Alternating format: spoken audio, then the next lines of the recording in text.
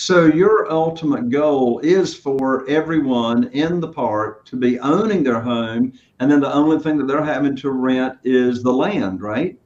yes, we want to help people be homeowners and we want to help ourselves effectively run parking lots. we don't actually like maintaining those proverbial leaky toilets and leaky roofs.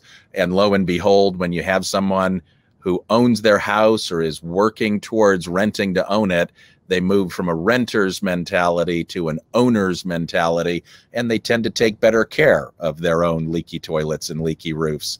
So it's really a, a win-win for all of us to to help folks become homeowners, uh, also to help us reduce our repair and maintenance uh, headache, uh, and again filter for really a better quality resident, people that want to be a homeowner and want to stop renting.